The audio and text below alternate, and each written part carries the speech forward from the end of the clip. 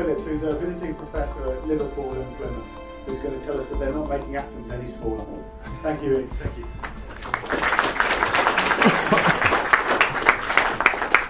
Thank you. Am I alive? I'm alive. Look at that. We have the technology.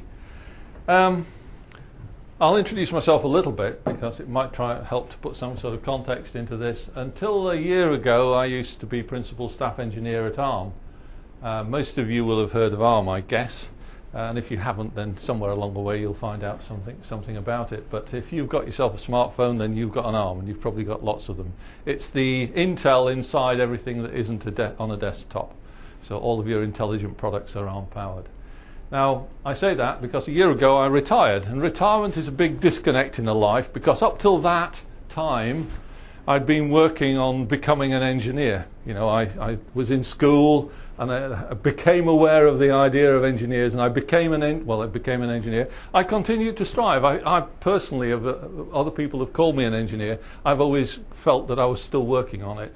Uh, it was an endless challenge. And uh, when you get to 50 years and then somebody says, thank you, and you go out through the door, you suddenly realize that this challenge, which has been with you all, all of your life up until that point, isn't with you anymore. Um, well, it's still there because I'm not going to forget it, but nevertheless, it's, uh, it's take, they want to take it away. Um, but that, with that pause that came along with it, I ended up looking back and realized how remarkable the last 50 years of my life have been because essentially they've been aligned with the history of solid state electronics. And of course, this has been a wonderful thing. It's been a marvelous story from the, from the very first stirrings in this domain through to you know, what the, the electronics that we have in the products around us today. So, to my mind, this is a, I put this together, and it's a bit of a it's not a, a, a drag through history or anything like that, but it is a histo- history lesson. But it's a history lesson which I hope is going to give you some of the uh, insights of being an engineer that it's given me, and I w- would like to pass on to other people who are still being engineers or still trying to be engineers. So, with no further ado, I will move on. So, of course, most of you will be aware that this is where it started. But it is worth remembering that it is just 70 years since the, since the first transistor. There was no solid state electronics to speak of before then. There was diodes before that, and that was it. Um, but this, the, the, the diodes, most of the technology, most of the physics of diodes wasn't appreciated. And so when, when uh, Shockley and Bardeen and Brattain were uh, working on this, they had only got this kind of vague idea that if they stuck some electrodes kind of close together, that something interesting might happen. It did, and it turned out to be a transistor, but they didn't understand the physics of what they were doing. They were still playing with it. Now, of course, once you've got this thing that works, then you start to become interested in explaining why it works. And so at that point, you start creating models of things. I understand that. Uh, you know, Shockley wasn't a terribly nice man. He was the team leader, uh, and that Bardeen and Brattain did most of the work, but Shockley is the guy who gets remembered. There's a certain element of familiarity in that, that some things don't change.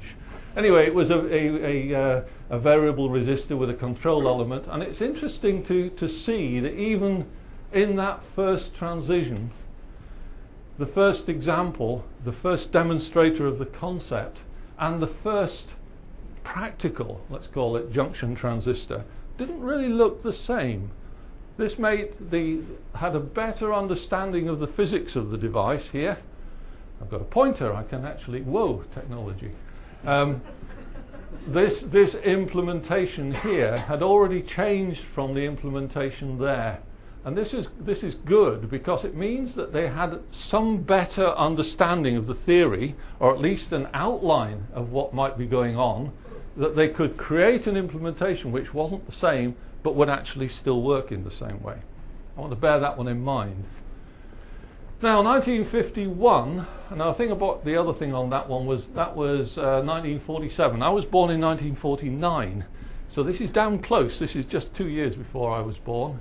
Anyway, the first practical transistor was, of course, 1951. So by that year, time I was two, wasn't terribly interested in electronics, but I got the idea. Obviously, somebody had told me that transistors are going to be where there's a lot of interesting action going on. This is a transistor, and yet again, it's still the same thing. You still have a base and an emitter and a collector, but the implementation of it has now changed yet again. This is a much better transistor. It's got a better gain. It's got better electrical characteristics and very quickly, by 1954, the OC71 appeared. How many people remember the OC71? exactly.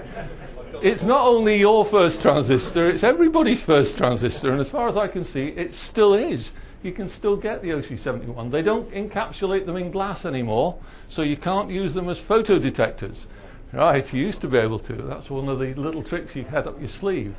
Now, the thing that I want to bring in here is the difference between architecture and implementation. Because we've had several different implementations of an architecture which was basically the same, a transistor. People had by now realized that this transistor action was interesting, and they theorized about other ways that you might put them together. Devices might be put together, and of course, not surprisingly, they had a theory which backed up, and you actually started to have other implementations which were not only possible, but were, uh, could be realized and demonstrated. An important point though, these may be pennies today, but they were pounds back then. And it made you a lot more conscious about how you used it. Now, if we were talking today's transistors where you have hundreds of millions of them and uh, more on a chip, then you certainly couldn't afford them to be a pound a piece. So something had to happen in the meantime, which has made a big, a big difference in that domain. So, a very significant thing then, 60 years ago, was when uh, Jean Hoerni uh, conceived the architecture of the planar transistor. And that's, you think it, it doesn't really strike at the time, and I remember looking at it and thinking to, me, to myself, so what? You've got three connections on the top surface, whereas previously one, one of them was on the other side. It Doesn't really make a better packaged device. But of course, it was Kilby who realized that what, you, what you're talking about here is the basis of an integrated circuit. He didn't make an integrated circuit, well, not out of a single substrate. He had two pieces of uh, uh, uh, silicon and he had three components, but the concept was there, and I think that that's important. This is 1957, so we're still, we're still tick- ticking along. It's a pace which is interesting, though. Don't forget, 1947 was the first demonstration of a transistor. Ten years later, we were, we were messing around with architectures which were leading to uh, integrated circuits. Now, that was the first commercial integrated circuit, 1961. Um, we had the birth of the solid state digital integrated circuit. Digital. This is, this is a digital transit. This is a digital integrated circuit. The other ones were just transistors. It, the first demonstrated integrated circuit with uh, uh, Hoerni, was it? Um, his was just an analog circuit, a very simple one, three components. It really wasn't digital, but this is the first digital integrated circuit. Four transistors, two resistors, and it cost $120. Um, and it was pretty small, though, don't forget. This, that's a dime, and a dime's about the same size as a penny. And uh, that was an integrated circuit. You can start to see that people were already saying, wow, this, this technology is pretty scary. Look, we've got six components on that, and it's less than the size of a penny. The previ- previously, when you, when you assembled a, um, a circuit, you used tag strips, you had discrete devices, you soldered them onto the tag strips. It was uh, arcane technology, but this was revolutionary stuff. Robert Noyce incidentally founded Fairchild Semiconductors to make this. That was, that's what he did it for. That's a stunning thing to do. Now, again, to put it in context, this is what we were talking about designing at that time, 1965.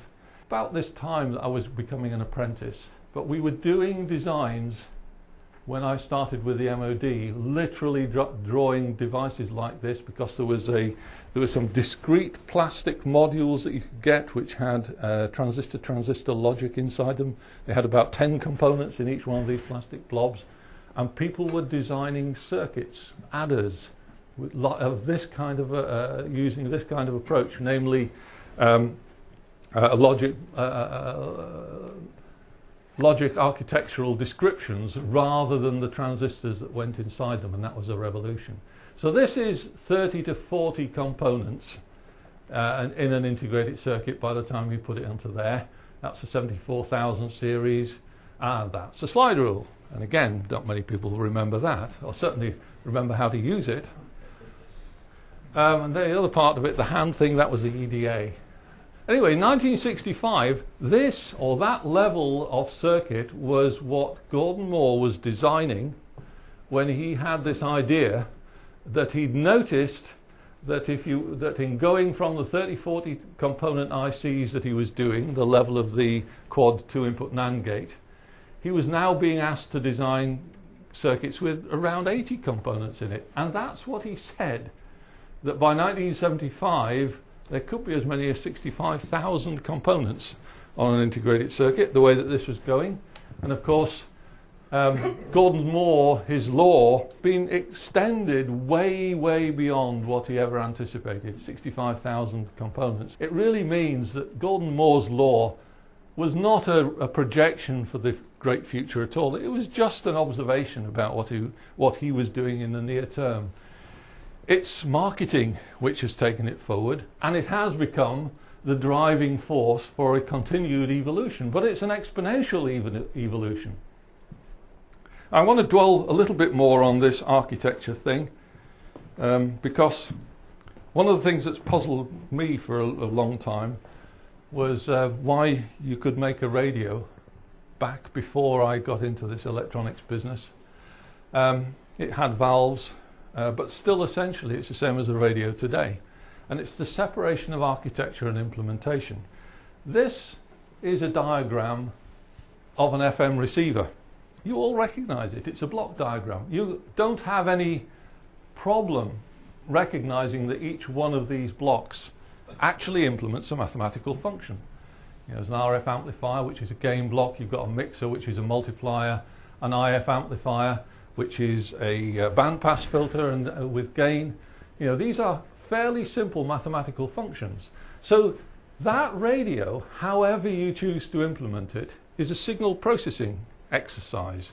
It's just how, how good the, the multiplier is. Is it a linear multiplier or is it, is it reproducible? The question is, uh, to ask that question is relevant, but actually, from a practical radio point of view back in those days, if it worked, it was a good enough multiplier. You know, if, now if you want to use a higher technology to do that and make the multiplier more precise, then you pay for it. You pay for it somewhere else, and you get some gains. So not surprisingly, then the first implementations of this in valves, and I've been there. I've done, didn't design valves, but I've certainly debugged de- uh, valve circuitry. You could actually repair electronics in those days too, which you can't do anymore. But you, they brought things in to, back into a repair shop to be fixed. Can you fix my radio, please, because it's broken? Now you say, can you fix my radio? No, go down to Argos and buy yourself a new one. Transistors, seven transistors versus five transistors was very much one of the discussions that we had in school when I was there. You know, I've got seven transistor radio. Oh, mine's only a five transistor radio. Anybody remember Radio Luxembourg? Yes our first introduction to the devil, pop music, wasn't it? and then, of course, you can put it into an integrated circuit these days. And, and actually, at this point, you don't know what's going on inside there because it could be all digital, it could be software, it could be analog, it could be a combination of all of them. And the reality is, it probably is a combination of all of them. The thing is, the function inside the box is still the same. The, it's just the implementation detail of it which has changed. And it's only changed to make something which is more commercially valuable. You want to sell something to a consumer. It's a market driven exercise. You want to sell something to the consumer, and that something is better signal quality, more reliability, um, maybe even power efficiency, all sorts of things that people are prepared to pay for. Clearly, even as recently as the, I'm not sure, I haven't got a date on this one, but this is the Pure Evoke device. Style was not an issue. People didn't buy radios for what they looked like, because I don't think that's an improvement, really, is it? So style hasn't made an appearance. So we've got the same architecture in the box, but the implementation using current available technology and methods realizes more commercially attractive products. I want to pick on that, currently available technology and methods. Why didn't the designer of the valve radio just use transistors? It would have been so much easier. The answer, of course, is that transistors weren't available when he was designing that radio. Similarly, they couldn't use integrated circuits when they were designing this radio. It's a small point, but the job of an engineer is to deliver a product.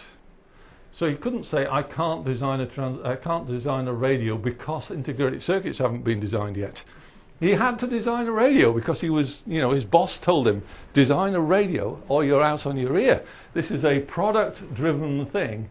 This is improved and he, but he couldn't wait until the uh, next generation either. He had to use the technology available. And that's one of the most important parts about being a design engineer, which I had never thought about. And that is you're always constrained in what you do by the technology and the methods that are available to you.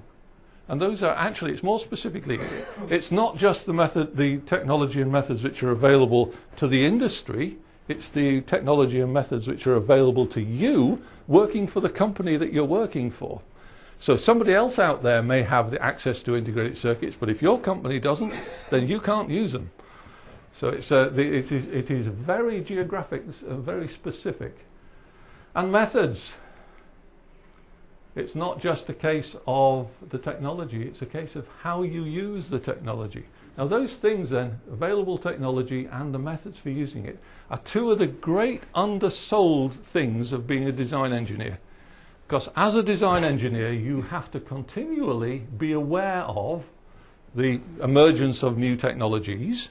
And a, a, a, product, whatever your product is, has a vast range of technologies. It's not just the, uh, the, the smallest geometry CMOS process. It is actually a range of different electronic processes and whether you're going to use software or not. Um, and uh, you know, whether you can make this thing, whether you have the technology to assemble components, whether you can use discrete resistors or whether you can actually print resistors. All of these things, somebody who's designing a modern radio or any other electronic widget, widget has to make a conscious engineering decision about because if it's a good decision, it'll end up being a good product. If it's a bad decision, your competitor will have a better product, and that means you'll lost the market today. So moving right on, by 1970 we were looking at what was called large-scale integration. This is the breakthrough which took you from uh, the small number of transistors right up to the heady grounds of 75 gates or 300 transistors. This is all pretty small stuff. But this was an interesting device because it was the, it is recognized as the first uh, large scale integration and it's an ALU, a 4-bit ALU. And I, am going to pick on that one because this one illustrates quite nicely how digital scales. So it, it's an ALU, which means it does a set of logical functions between two inputs. Not wildly exciting, but it is an essential part of a computer. And the other thing that was nice about this one is that you could increase the width by putting several of these down on an integrated circuit, or in, sorry, on a printed circuit board, or you could put them into your next integrated circuit as one implementation. So they could make their next integrated circuit if the process technology had shrunk, then you could put four of these on one on one die, and you could now have a 60 uh, for for 16-bit uh, ALU on your integrated circuit. And you could continue to double it without having to do serious amounts of redesign. You'd, you'd introduced, by going to this abstract logic level, you'd introduced a level of shrink support in the design process which had never been there before. So the, the, the process of designing had become largely geometry independent. You could also implement that on bipolar if you wanted to or gallium arsenide or CMOS it, or I squared C logic. The logic was an adequate description of the functionality. The implementation technology gave you features which were either desirable for you or not. Again, the design engineer would have had to know and be aware that when he was designing his products, he was going to be making a choice of technology And he, that technology would impact the product. And if he didn't make the right decisions, then he was going to end up producing a poor product. So this, this role of an engineer to think outside the box, I believe explains quite nicely to me why I consider I always struggled to be an engineer. Because I was always having to look at the things that I didn't know very well. The stuff that I did know how to do, you just did that. It was the, the challenge of having to go out there all the time and be aware of the stuff around you that you could use on your next generation design was actually a, a, a challenge. It also meant that you didn't know you weren't basing your design experience on having done or used that technology or that particular variant or that tool or that methodology before. It was always new. You were doing something which was challenging, and that challenging was the introduction of something which was new. Anyway, by now we come to the first ARM CPU, 1985. This was the co-processor for the BBC computer. And that was its first implementation, but the processor actually ended up in the Archimedes computer, which most people, most people with any kind of grey hairs will have some knowledge of the BBC. It was great in its day. But to put some scale on it, that four bits of ALU that we were talking about is now there. This is a die, which is a modest size die. I'm not going to go on to the overall size. It was about three millimeters square, four millimeters maybe. But that 4-bit ALU in 10 years had ceased to be a whole chipful and had become just that tiny part of a chip. just five years later, ARM had this idea of selling the CPU as a cell to put into a larger integrated circuit. So there's the CPU now, the whole CPU. The ALU is down here somewhere. Just five years later, the chip had not become a chip in itself, it had become a fraction of the chip. And that I think is a startling thing as well, because we all know about Moore's law. We know how, we know how fast it goes. It goes times two every 18 to, 18 to 24 months. But actually seeing it like this shows you that it, it's not just fast, it's unbearably fast.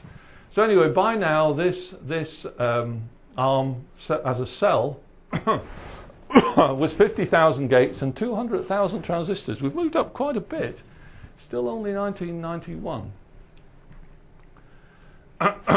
now, I, I used this graph, which I pulled from the International Technology Roadmap for Silicon back in 1999.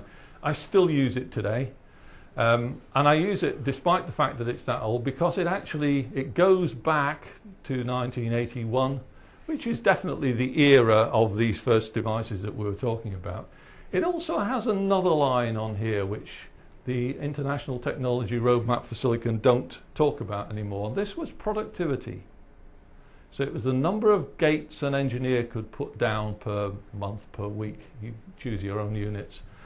Uh, I also stick this arrow on it which gives some idea of the process geometry that we're talking about at that time.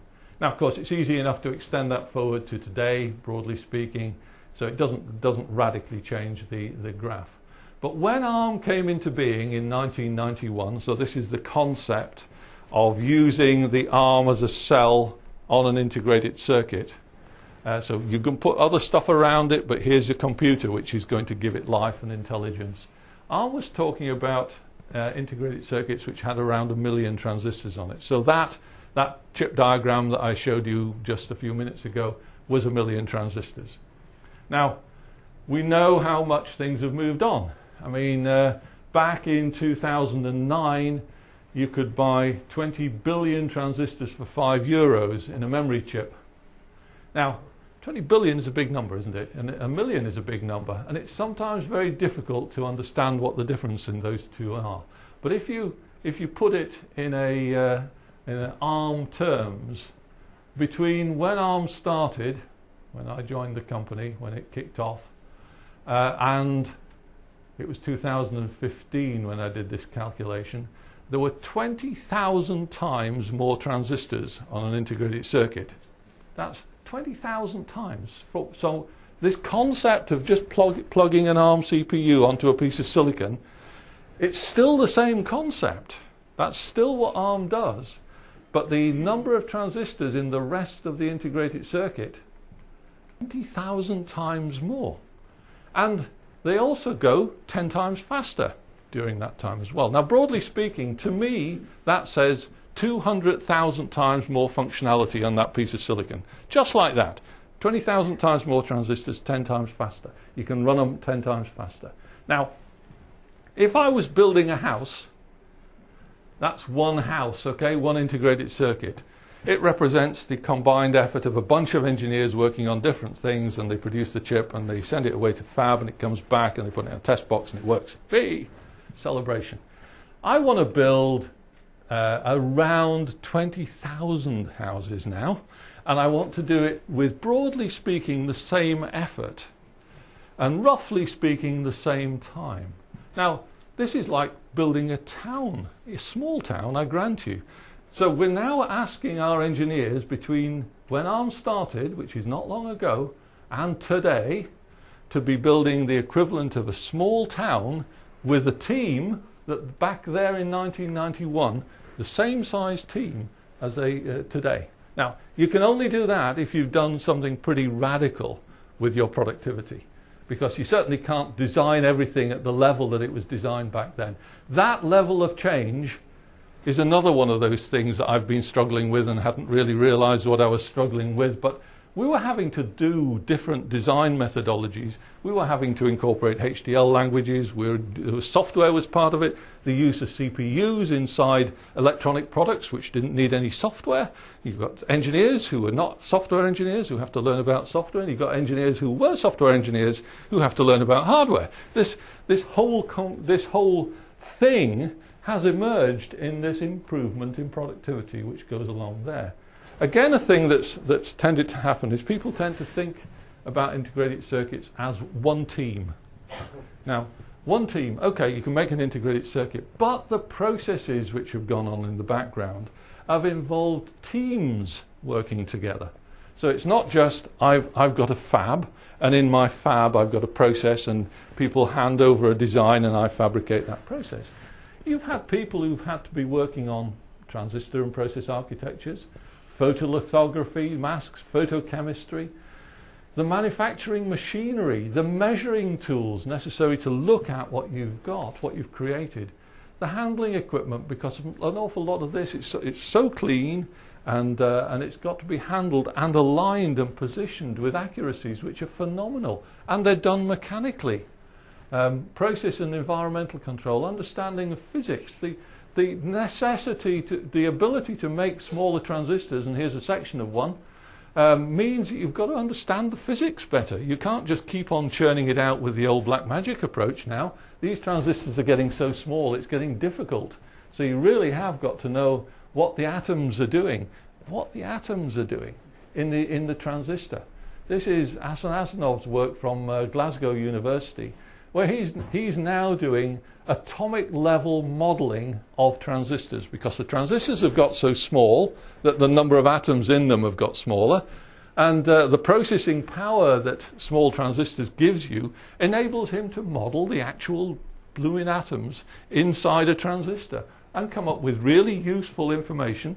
This guy, in, he, he started this work, he just theorized that it was possible. He has become a world leader from Glasgow University, all of the process guys in the world are using his modeling now to predict what their, what their processes, their future processes, are going to look like. Not surprisingly, of course, the methodology applies to any small transistors. And there's an awful lot of focus these days on transistors. Look over here. This is a cross section of a typical chip. And you also see something here. There are 10 layers of metal interconnect here. The first ch uh, chip that we designed had one layer of metal and three masks. This one's got uh, 14 masks in the metal alone. And right down here at the bottom of all of this stack is the active layer. That's where the transistors are. The transistors are still planar. They're still sitting right at the bottom, but they can be connected together in a very ingenious way. Anyway, this is all the sort of thing that has been continually going on in the background just to make planar transistors 0.7 times their linear dimensions every 18 to 24 months. And people have had breakthroughs in each one of them, one after another, and they keep on rippling through, and the pace of change gives you new processes which align remarkably with this thing that Gordon originally projected and that the market has continued to improve. But in 70 years, the silicon atom is still the same size as it was in Shockley's uh, conceptual demonstrator. The atom hasn't got any smaller. The transistors have got a lot smaller, a lot smaller. Crikey, huge amounts smaller, 20,000 times smaller since ARM started, and now getting to a point where we're bumping into the atoms. 130 nanometers was probably the last time that you could consider the um, transistor in a totally uh, block approach, gate, drains and source, gate oxides and, and body. You didn't need to think about it in an atomic concept at all. It was bulk behavior.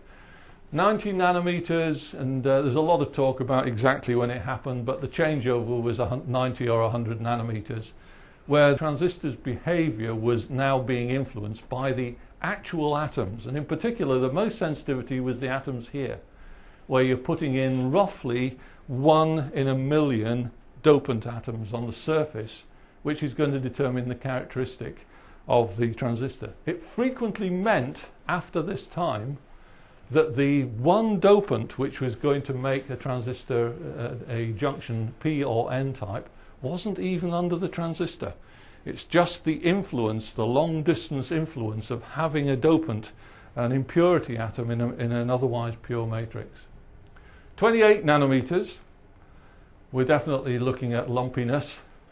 And 14 nanometers, and where are we today? We're roughly 22 nanometers today, somewhere in this line. This is where the commercial um, hotspot is. People are demonstrating transistors down to about 3 nanometers we're definitely that's definitely into this domain. But one of the things that that, that happens 10, 10, 7 nanometers will probably be the realistic smallest transistor ever. And that's not far away. So we're already at 22 nanometers. If the, if the pace of uh, change, um, doubling every 18 to 24, then you're talking of three to six years.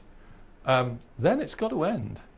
Now, the, the thing is, it's already ex extremely painful.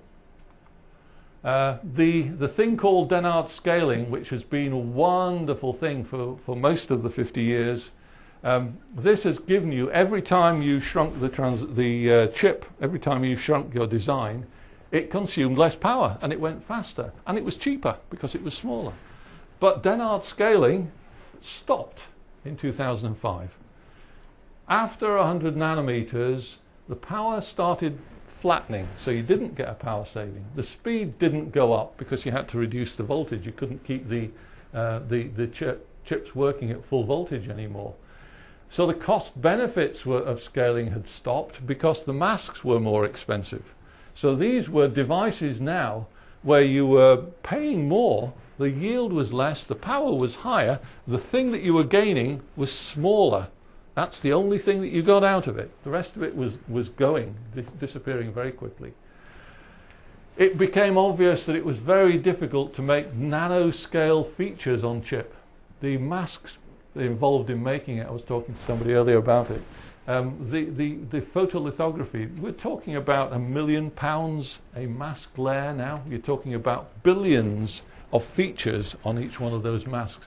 And the masks are not regular structures anymore. They're actually uh, interference patterns. So you've effectively got to design a hologram and then implement it on a, uh, a mask. And those masks, not surprisingly, cost over a million each. And if you're doing 10, 10 layers chips with transistors at the bottom, there's a lot of mask cost, which means that these chips may be making use of very small transistors, but they are very expensive. The yield isn't great either. The yield has gone downhill. The um, major changes to trans transistor architecture. Um, frequently, I hear the, the phrase "it's not too literally true," but they're using half the periodic table in in uh, wafers these days. I mean, essentially, the early days it was silicon and uh, uh, arsenic for Im impurities, and then you've got uh, aluminium for the for the metal, and this is silicon oxide. That was that was your integrated circuit. Now there are so many more that they have to be they have to use to try and control the electrical characteristics of the transistor. So not surprisingly then we have a huge increase in process complexity and cost and significantly reduced yield and uh, and reliability. And that's today.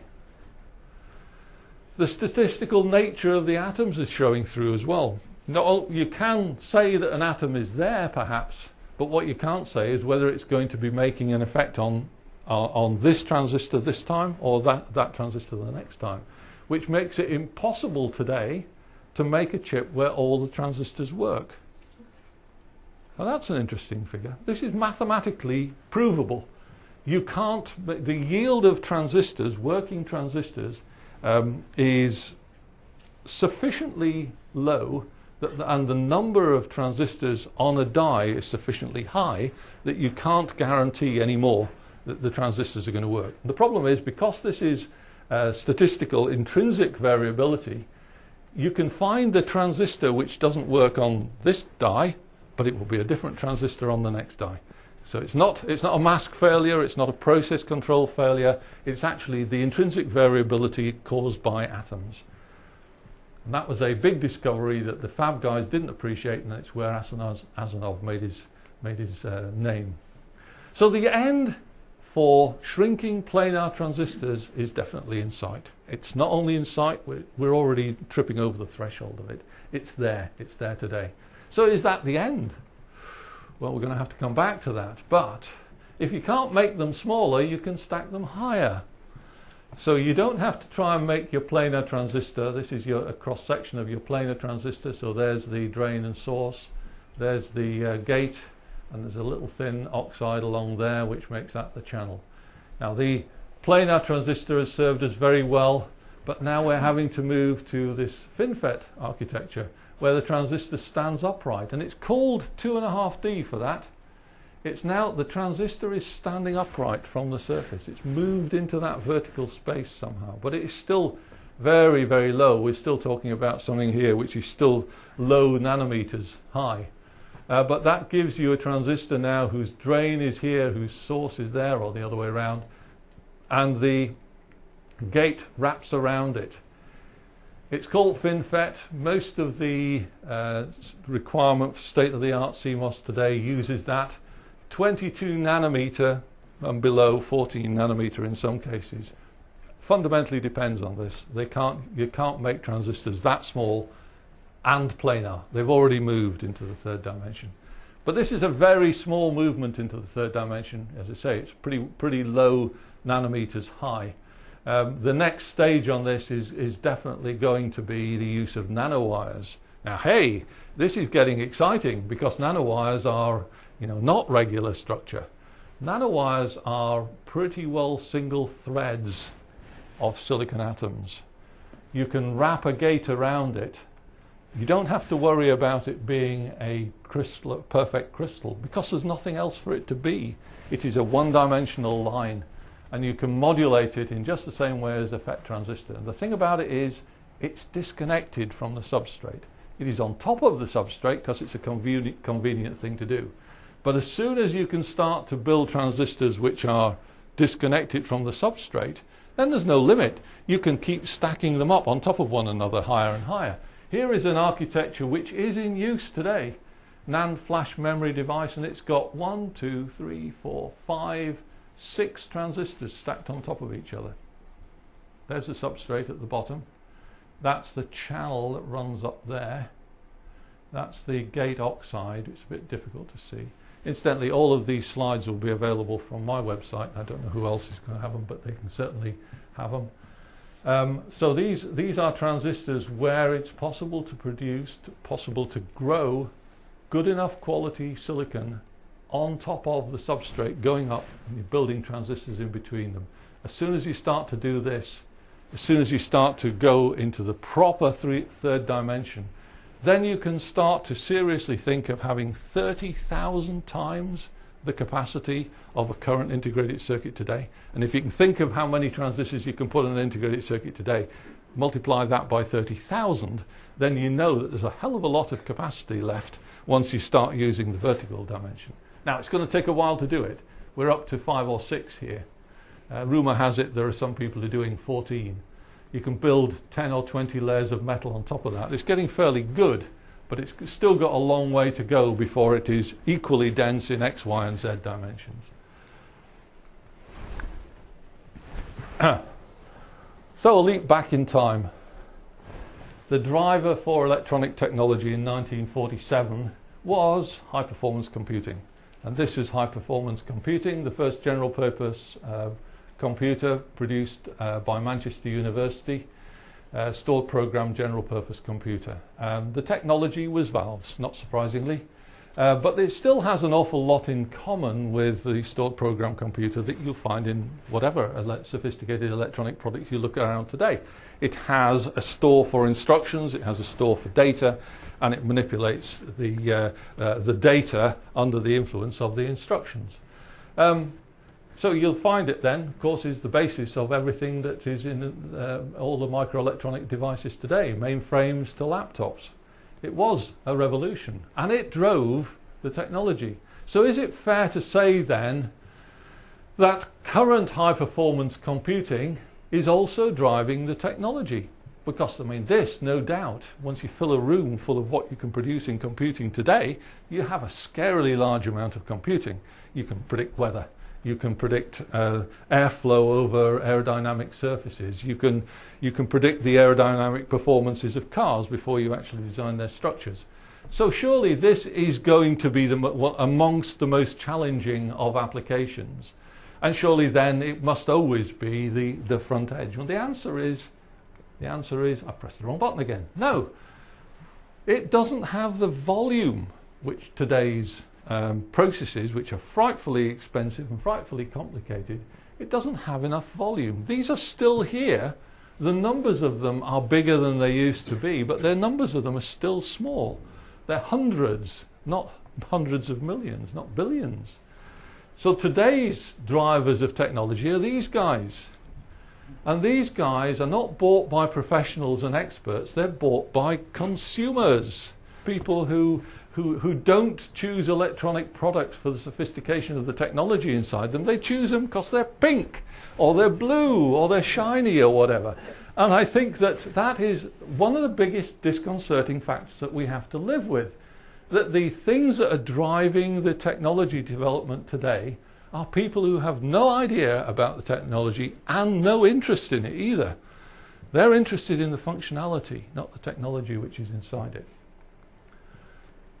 So we get this. Back here in 1970, the technologies, the thing that was driving the technology was the mainframe computer. It hasn't gone away. It's still there today. Its numbers are bigger, this is a log scale, but they're not huge. It was taken over a little while later. The market leadership was taken over by the mini computer, the personal computer, the desktop internet mobile internet, and in due course will be taken over by the Internet of Things. These are, each one of these represents a substantial hike in the, uh, in the number of devices shipped, but they also represent a substantial hike in the total value of the market. And that's, that's the thing that drives it forward. It's only these very highest level things that means you're able to amortize the huge process development cost and the huge design costs associated with, with these devices. But it means that if you want to build a mainframe computer for a professional application, be it simulating nuclear weapons or weather, then the professional interest group have got to do it using the technologies, the processes which were developed essentially for consumer applications. Military, governments, they can't afford to develop a process that they would like to have down here. They have to use the processes which are available. So it's why today's high performance computers are making use of, for example, the CPU technology which is used in ARM. The latest RIKEN um, highest, perf- highest performance HPC machine, they are currently the world's leader uh, they were displaced momentarily by a Chinese supercomputer, but RIKEN is the research group of Fujitsu, I think, in Japan.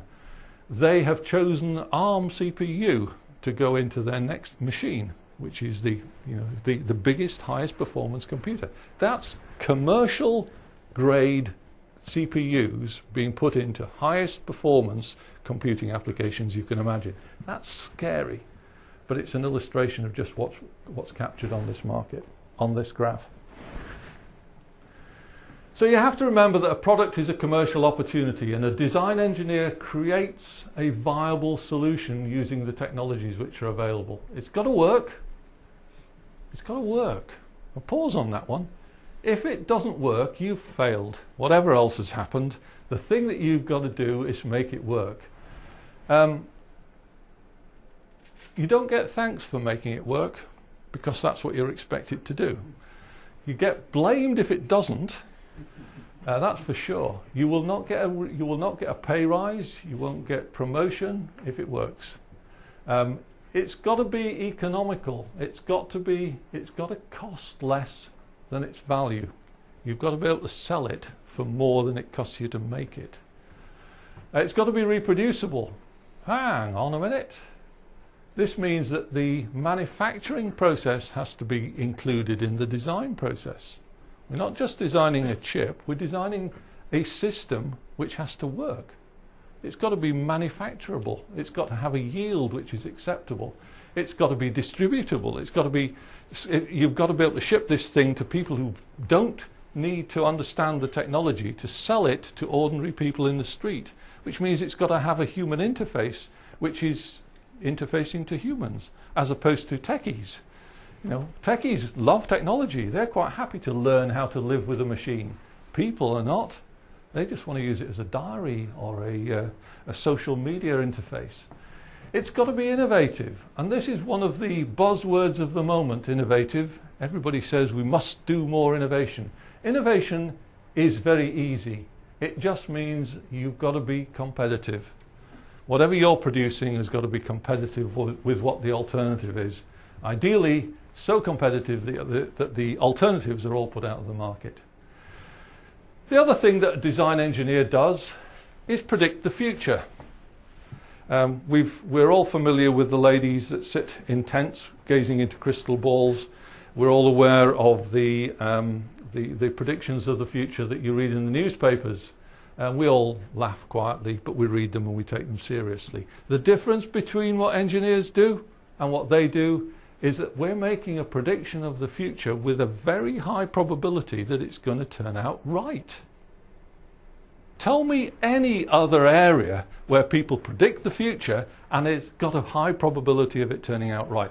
We are so used to seeing this happen that we kind of expect engineers to do it and we blame them if they fail to do it. So they're going to project, project that it's going to deliver in a certain time, uh, deliver as promised. You're going to deliver the thing that you said you were going to deliver when you promised it, that the costs were, were going to be within budget and the quality was going to be within budget. You know, we've all been beaten up on these things, but we have to remember that what we're doing here is a huge thing. We're predicting the future. And we're being tested by our ability to deliver the future. Big round of applause for all engineers here. That's, there's nobody else that can do that. And they have to base it on the use of appropriate and available technology. I've already belabored that point, uh, but not the fanciest or newest or opti- uh, optimistically promised, those are no good. Engineers have to deliver, therefore, they have to rely on, process, on processes and technologies and methodologies which are available. A promise of something, anti-gravity machine, uh, uh, uh, superconductors or um, quantum computing, they can't build those into products which the company depends on until they can depend on the technology. It's another judgment that an engineer has to make is at what point do the technology set which are available to make this product become viable? And the company life depends on it. And it's about working with others. This is not a lone job. It's not a lone job inside a company, and the technologies are so broad and the expertise is required are so far ranging that it's not just teams inside the company, it's teams around the globe. Brexit it doesn't figure unless these teams are already global teams. Whether there's a little club called Europe or not in it really doesn't make a show. Everybody already depends on these things, whatever their geopolitical boundaries. um, it's about thinking around and about the problem and being ingenious. Ingenious, the root of engineer, of course. That's what we do. That's what I did. Hey, I'm proud of that. The design engineer's role involves endless learning and the application thereof. Oh, that's what I've done 50 years. It suddenly has a context. I understand why it is a struggle. So let's look inside a couple of iconic products. The iPhone, everybody knows that. And we also know that if you want to get a knighthood for your contribution to technology, then you need to design the outside of one. because the inside is black magic, and black magic is easy. We've all seen Harry Potter movies, right? You just put the magic word in, and it becomes a phone. Um, but design actually happens at many levels, and let's start to peel inside this because um, we tend to forget, even when we're working on this ourselves, just how many levels of technology and just how much is inside these things. They're sealed together. You can't peel the lid off and have a look. I'm really going too slow. The vibration motor, so small, can't make it by hand, has to be made by machine. The camera, it's a module, 5 megapixel camera, but when way back then, and a video camera incorporating LED flash fits inside an 8 millimeter cube. Um, you take a look at the control board. Here's the, here's the electronic GUBRI which sits inside it. There's actually 20 chips in there. Most people think of a phone as having a chip in it, and probably a chip that was designed 20 years ago. This is Samsung, Cirrus Logic, AKM, Texas Instruments. Uh, they're using various technologies, and uh, MOS, BiCMOS, MEMS, uh, CMOS, analog CMOS, SAW technology, um, a whole load of invisible uh, components, operating systems, drivers, stacks, applications. The, whole, the, the range of components that goes inside these things is enor enormous. There's the other side of the board, incidentally, similar list of breakdown. When you go searching for the integrated circuit, this is what package you find. The, there's the processor IC. This is a section now, looking through the package. It's got two memory devices, two memory chips which are sitting above it inside the package. So this is two millimeters from top to bottom. That's not trivial technology, and yet it's not really noticed anywhere else. Uh, so when uh, those 20 chips, their design is important, but they're not the most important part of the product. All of the component technologies have to be there before the product works. It's as strong as the weakest link phenomena. It's not the transistor which is the most important part of this, it's the technology that doesn't work which is the most important part of this. Because if it doesn't work, your product doesn't go to market and the, bus- the businesses rapidly fold. So, the most important thing that you have on this is that all, all the components have to be available and they have to work.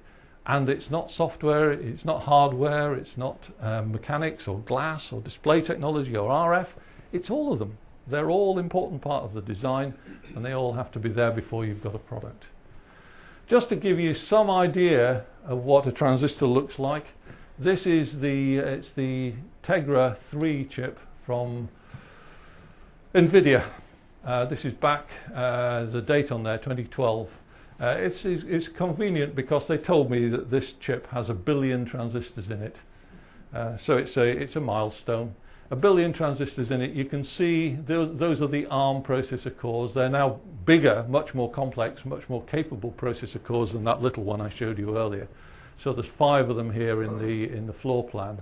Uh, and if you sort of zoom into that, you start to see, well, not surprisingly, metal, which you can't really see very much of. You can't see much into it. But if you go into it with an electron microscope, you start to see there's a lot of connections, but where are the transistors? Well, actually, there are just three of the transistors there.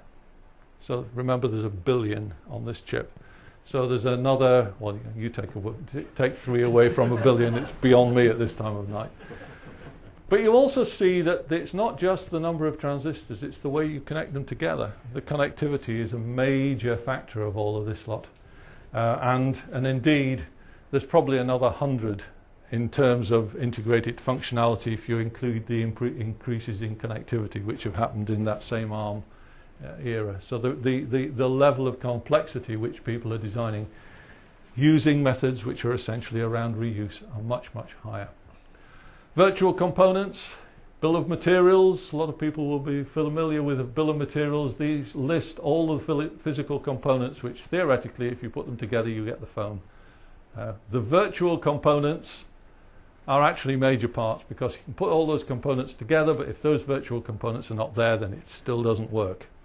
So these are, these are things which don't have a physical presence and they should be listed in the equivalent of that bill of materials. But in here is where people like ARM have been doing their technology. So that productivity gap, which looks fairly innocent on that diagram, you have to remember these are log scales. So back in those days, it was taking around 100 person years to design a chip which involved ARM.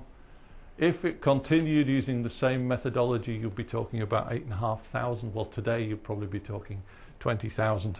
You can't live with that level of productivity. The new thing that came, verification became a problem, but the thing that happened during that time was increased levels of reuse. Single designers became global teams. Clean sheet design actually became all the way through to expertise reuse. Nobody does clean sheet design anymore. um, so productivity has become the design uh, methodology driver. There's a, Uh, a Samsung, sorry, SanDisk 19, mil, 19 nanometer, 128 gigabyte flash memory. Generally speaking, must have about 60 billion transistors on it. So that's fairly, fairly up to date. Presented with a box with 60 billion transistors in it, I want you to design a smartphone. Yeah, come on. A box of transistors. I can take a lump of metal and, and, and say it's got God knows how many billion atoms in it. It's no use unless it's configured. So the configuration is a major part of a design. Having a chip, gate array or whatever with 60 billion transistors is easy. Make it into a product is the thing which is difficult. So you've got to be able to design a chip with a reasonable time, reasonable budget. Uh, otherwise, it's not there. Um, so companies like ARM, and I can't help advertise ARM a little bit because of my history with it. So companies like ARM didn't consciously set out to do this, but this is what they do. ARM's product is a virtual product. It's a designer productivity product. So it's not something which is directly on the bill of materials, but it's something that helps to make the design process viable. You can reproduce 60 billion transistors quite easily. You just keep stamping them out. But once, but doing the design, the organization of all of those 60 billion, 60 billion is roughly 10 times the entire population of the world, just to put a scale on it, uh, is something which is a large and complex task, and your company won't be in business without a successful design. And so ARM's infrastructure is a lot more than just providing a CPU block into, the, into an integrated circuit. It includes all of the software tools which, is, which are listed here, but it's also not only for the main CPU chip, but also for pretty well all of the other chips which are inside there as well. They all need to be intelligent these days, and ARM provides a, a convenient way of making them so.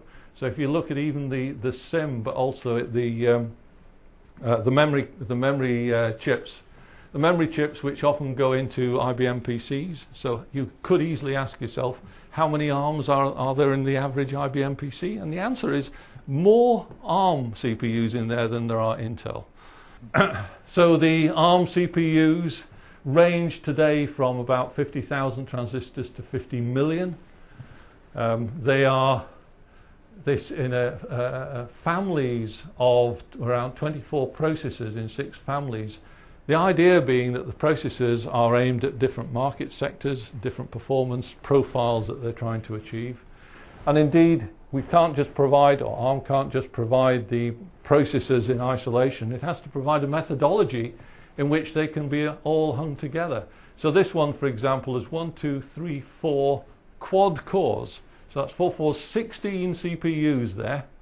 And up here, there's another cluster of DSP processors, which could easily be another 16. This is an example implementation which, when people license ARM technology, they get effectively here's a circuit diagram, an implementation of all of that. Take out the things that you don't need, attach the things that you do need. The operating system, the whole design environments, they will all work when you've created this. Here's a suite of test programs which will work with it to help you to, to get it into production. So there's a lot of stuff. The iceberg has an awful lot underneath. And so, what people who think that this ARM is an easy, easy thing to replicate have got to realize that ARM is a lot bigger and wider than it looks on the outside. It's actually very much like a TARDIS. And of course, there's partnerships. The other thing that ARM has strength in is around a thousand partners. Around a thousand people, companies, design groups, tool manufacturers, uh, EDA companies, fabs, all see the value in having links into the, this ARM iceberg. Because if they can do that, then they, they are going to have a, a, a route for the use of their tools in end products. And that's a, a very good thing to do because an end product, of course, is what we're all trying to make. And ARM shipped in 2014, and I don't know what the current number is, 12 billion ARM CPUs. 12 billion. 7 billion people in the world, that's a good, good number. And had shipped 60 billion in total. That's interesting. You can get, get an idea there of just how fast this market is growing. It shipped 12 billion in 2014 when the total that had been shipped up to that point was 60 billion. So this is a number which is growing between 25 and 50% per annum. So that's how fast people are buying into the electronic systems. I won't spend time on that except to say that back in 2016, SoftBank bought ARM for 24 billion pounds. ARM has no manufacturing capability. So it's a very strange thing to buy. Governments don't appreciate it or value it because they really don't understand how uh, these electronic things are difficult. Everybody's producing them these days. They can't be that difficult, surely. So conclusions then. Uh, the planar transistor in the last 70 years has transformed our lives, but society now expects all aspects of social and individual need to continue to improve. And it's rightly seen that Moore's Law has delivered that up to date and is worried then about what the future is for this. But as the planar transistor approaches the atom size, its shrinking must certainly end. Um, is this the end for continuous improvement? Uh, well, the alloy of technologies we've seen working together is delivering system functionality which is still going to go up a long way. The transistor is no longer the ep epicenter of these complex designs. And the moves into 3D technology, along with more sophisticated design, manufacturing, packaging, and so on, uh, can maintain, and I think will maintain, that system level Moore's Law, that is the doubling of functionality on an 18 to 24 month cycle, will still continue and it will continue with no limitation as far as I can see. There is nothing in front of us, probably, which constitute, constitutes a significant obstacle for around 30 years. So the size of the silicon atom is forcing a rethink, but then that's what engineers are there for, isn't it? It's to overcome problems. It's not to do stuff which is easy to do. You've got technicians to do that. Problems are the things that you bring engineers to the, to the table for, and that's what they're going to do. It's what we do. That's it. Thank you for listening.